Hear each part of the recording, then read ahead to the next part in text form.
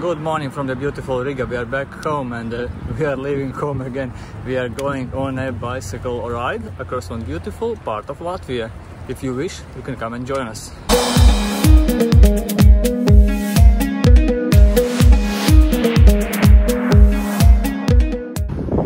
So yeah, it's Saturday, 8.30 in the morning and we are about to leave Riga. We'll be cycling all the way. We started from the home and uh, yeah, so we'll be cycling for two days.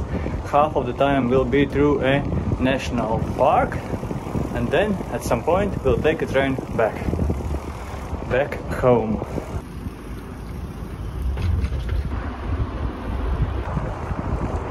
I really like these kind of uh, trips, these kind of adventures because they require little to no planning because yeah you can just leave from your home just go somewhere either hike or cycle and then come back.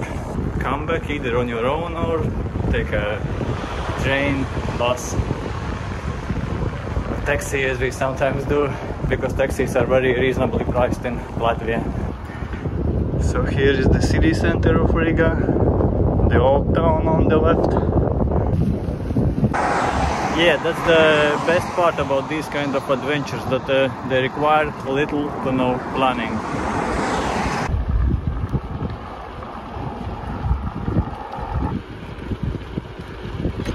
Wow, this is empty even for Latvia, but I think it's uh, because of... Yeah, we just had the biggest national holiday celebration, the midsummer. People most likely aren't even in Riga at home people most likely are enjoying the great weather somewhere in the countryside.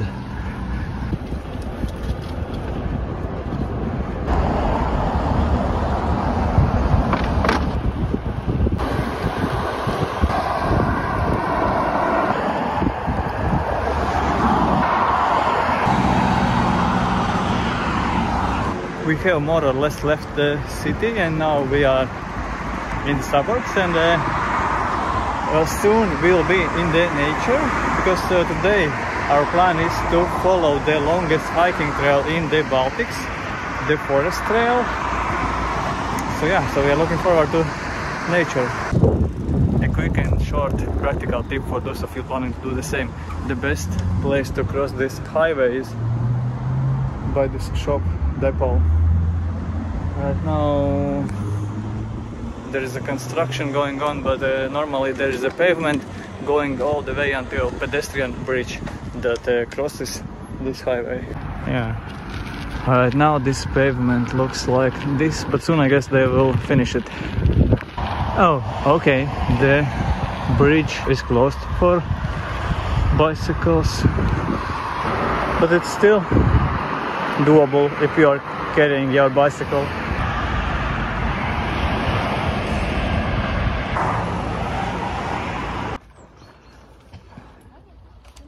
just look at this quiet beach. Yeah this lake beach and um, this is what you get in Latvia but uh, can you imagine a beach this empty and quiet and peaceful in I don't know France Italy Spain let alone in India or Pakistan? Yeah and I know what beaches look like in Pakistan. I remember Karachi beach all packed with people, camels, buggies driving on the beach. It's completely different thing what we have here in Latvia. This place looks completely different. It looks completely different from the last time when we saw it. It was um, during the winter, it was minus 25 degrees, all covered in snow a completely different side. I must say that I prefer it this way, even though it looks really beautiful also in winter. If you have snow and it's like really cold and so on. But anyway, I like it more during the summer. It's only the second time that we are on this road here, like ever. And the trail should be starting somewhere soon. We just stopped by the river Gauja is the same river that we'll be following today and also tomorrow. And um, look at this place. Back in the days, like um, I don't know, probably probably also maybe 50 years ago or 30 years ago, but uh, also 100 and 200 years ago in this place, people were using a wooden raft to get across the river. Uh, there was a rope all across the river and people were holding it, on it and pulling the raft across the river. And the interesting thing is that here this raft was the only raft in the region which also had the lantern on it and benches for passengers for the comfort of passengers. What a useful fact. So, if there ever comes a day when someone asks you where in Latvia in the 18th century there was a raft that had benches and a lantern on it, you will know. You will know that it's the Ilķenes pārceltuve across river Gauja. Yeah, but now let's continue.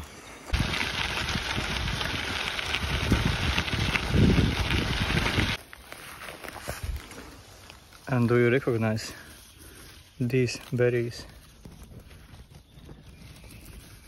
are forest strawberries. Actually, I don't know what do you call it. If these really are forest strawberries, but yeah, this. This is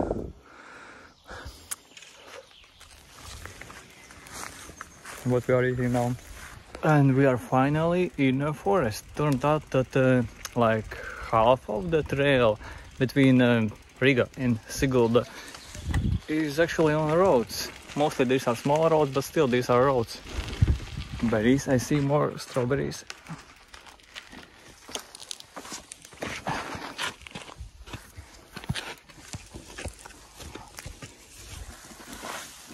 I'll have to buy a stand at some point for my bike. So strawberries, strawberries, strawberries. Yeah, I don't know what do you call them. Forest strawberries, wild strawberries, I don't know.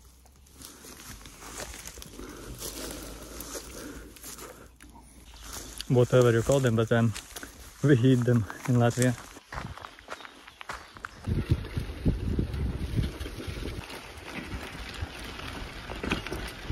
On the right you can see trail marking of the forest trail.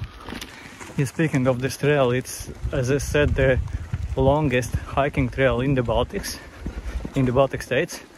Baltic states, it's uh, to, it's three countries. Oh, I cannot cycle.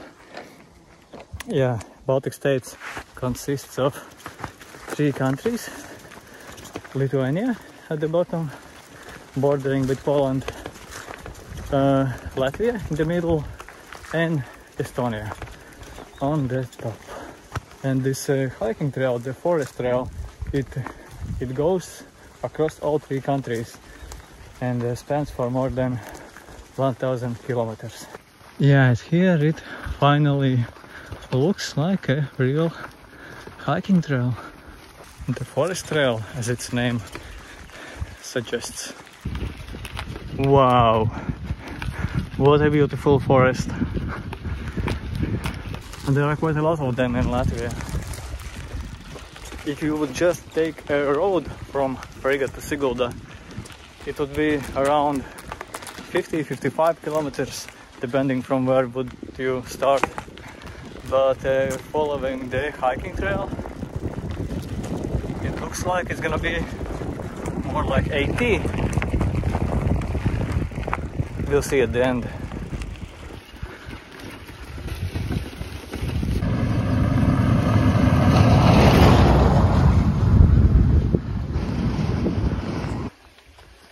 Inču kalna Velnala Inču kalna Devil's Cave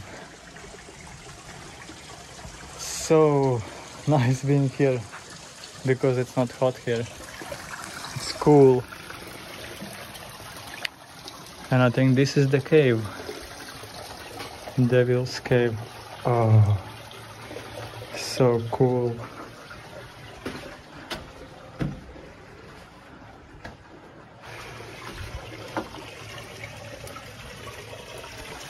So cool.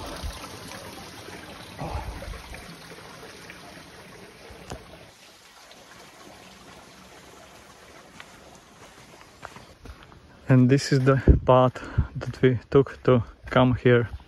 The funny thing is that uh, when nine years ago we were going to India to cycle all across India, we were thinking that uh, this is the kind of roads that we will find there. But in fact, cycling in India turned out to be much more, I don't know, modern because mostly we were cycling on um, high quality roads and then, yeah.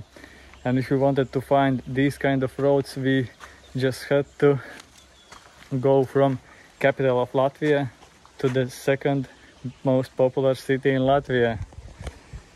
you don't have to go to India to find these kind of adventures. Leave your home and just go to the next city. So 55 kilometers and how far are we? Where is Sigulda? Sigulda is here and we have done um, I'd say uh, 80 four yeah maybe. four fifths 80 percent yeah So where is Sigulda? here Okay, not far away. Let's yeah, let's let's let's relax a little bit and uh, keep going.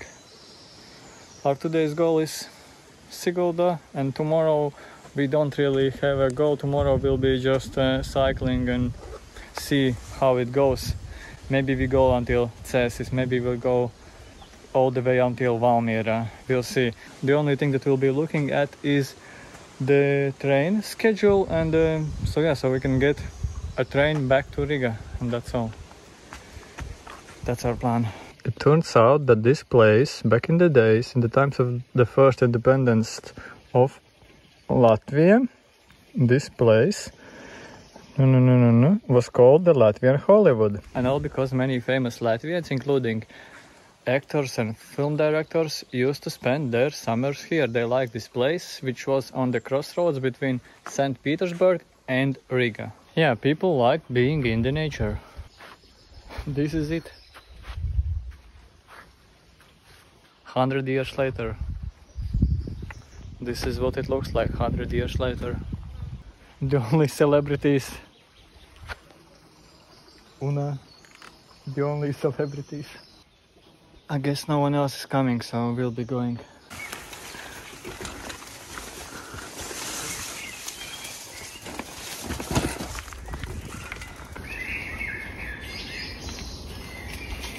And just look what we have here. I'll try to find a better viewpoint. River Gauja.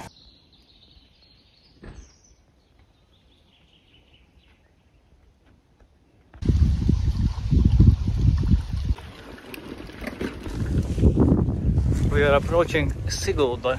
It's uh, really close already, maybe like one kilometer only until the city center. Uh, what surprises us is that uh, now, on a Saturday, there are almost no people.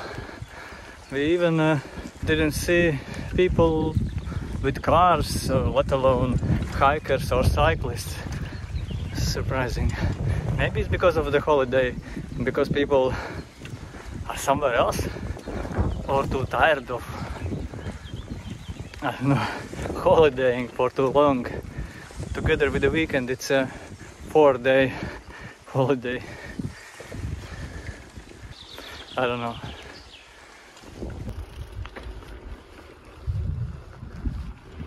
Sigulda, early in the morning on a Sunday. Una, early in the morning on a Sunday in Sigulda. It's not that early actually, it's uh, like 8, 8.30 am uh, because we realized that um, there are only a few options that we have. Either to rise really early like 3 4 a.m and uh, cycle for all day. Or or or or or, or do as we are planning to do now just uh, cycle half of that which means like go at whatever time you want and uh, depending on how fast are you planning to do how fast are you planning to go and uh, yeah so we are taking the easiest option. We don't want long. and hard ride today. And now we are looking for the trail from Sigulda there should be a trail I have done. Yeah yeah. Yeah it looks so. I have done it once. And it looks like the place. Yay. yay. And I think it will start with the steep climb down the stairs. And I see Una is looking forward to the stairs Down the stairs and yeah we'll be down the, ah, down the stairs, yeah? yeah yeah we'll be Aha, Climbing. it's better than up the stairs. but carrying a bicycle Down the stairs, yes, it's fine. Okay. Um, yes, but, but speaking of yesterday, yesterday turned out to be 75 kilometers. Uh, it took us more or less eight hours, including all the stops. So yeah, so thinking of today, uh, we realized that yeah, we don't want to have a long and tough day because it's uh, it would be in the hardest option. It would be 100 kilometers, maybe a little bit more. That means more than 10 hours cycling on trails. So, so the easy day it is. The easy day it is. Let the trail begin. Let the trail begin. Let the fun begin. Ah, So these are, Here, a couple of times, I think. Uh, I yeah, this. at, I think it was during the winter. So this is it, yeah, definitely. Are you sure? I'm not sure. No, these weren't the right stairs. Here are the stairs that we'll be taking down. I'm glad we checked before uh, descending. Yeah, that was a good idea. We checked before going. We found Bali Swing in Sigulda. And it's for free. No queue, Either. no, No queue either. No, no fee, no queue, no fee, no queue, no. no people. No Bali. Yeah, these will be the right stairs because here is the trail marking the stairs. And we'll be cycling through Gauja National Park. From Sigulda to Cesis. And someone's here is having a fun. I can't get any higher. Ah. No, no, no, no, no, no. Enough. Ah. And we are back in the woods again, cycling to Cesis.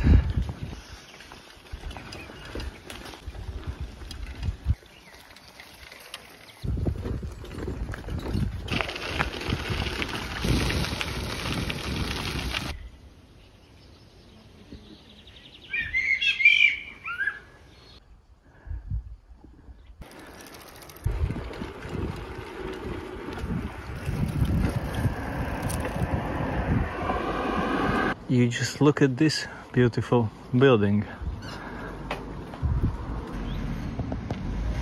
Back in the days, it used to be a kindergarten. And this is Ligatne. I have a feeling that every small town that we are going through is uh, more quiet than the previous one. But all of them are beautiful. Yeah, so this is Ligatne. The outskirts of Ligatne, but since it's not a big place, the city center is maybe like one kilometer back only. Just look at these old buildings, traditional Latvian houses, wooden houses. This is the kind of houses you see in Latvia in the countryside. Yeah, beautiful wooden houses. Yeah, and as we were just talking with Una, uh, we are really surprised to see these uh, kind of wooden houses, the traditional houses, in such a good condition because um, many of them in other towns they are in, much worse condition but here in Ligatne it's nice. They look nice. And this road also looks really good. Yeah and on the left you can see the other type of houses. You see a lot in smaller towns in Latvia especially in smaller towns but also in cities. These I think they are from the Soviet times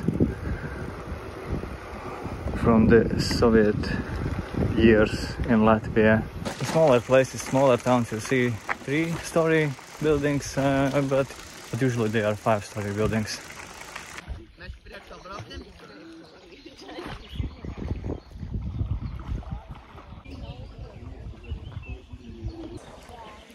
it was such a good idea to make this day easier and shorter. Either today is a better day or it's a much more popular, I don't know, part, road because today we saw cyclists, yeah, so many people, yeah, cyclists, hikers, just families or friends on the beaches kayakers and then 15 minutes later everyone left and we are the only ones on this beach but we're also leaving this is the beauty I was promising when I started this video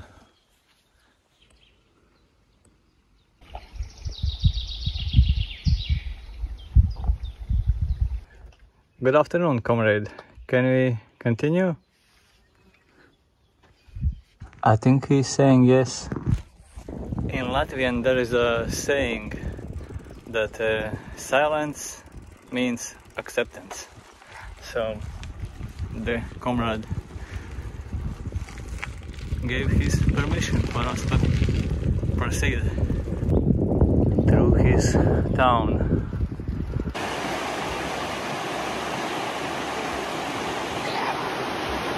And here is the next place. This trail just keeps delivering beautiful places one after another. And here you can see that even though the water in Latvia in many places is kind of brown, but it's actually really clean and transparent and so on. Beautiful. And I know that soon there will be one more really beautiful place uh, because I have done this part of the trail. I did it, I don't know, a year ago or two years ago. I was cycling from Valmiera to Sigulda through Cēsis.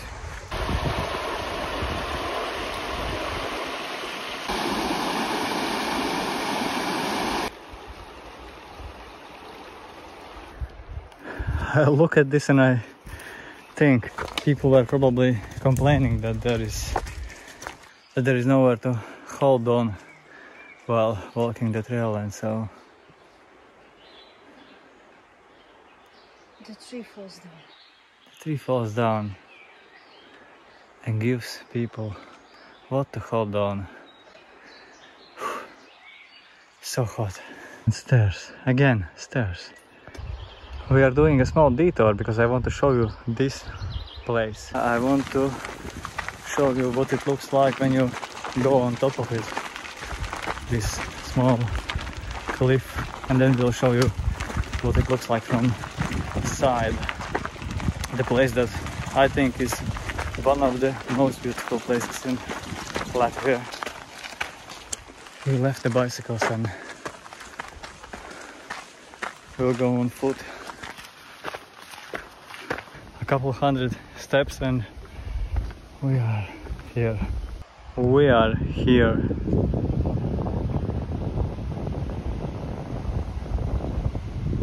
Almost on top of Latvia.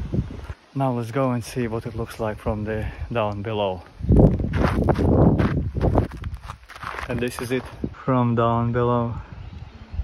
Not as impressive on a, such a sunny day, I must say. But trust me, it looks beautiful when the lighting is right.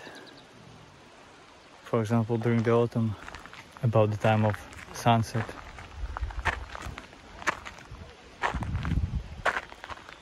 When you are coming from there, approaching it as a big wall. This is where we are going to Cesis. The final leg. There were trails, there were roads, there were steep roads, kebab, uh, train, two hours on a packed train with no air conditioning, two hours of dreaming for of uh, cold river swims, and now we are in Riga. That's it. It was fun. It was interesting. It was awesome. But we are tired. See you soon.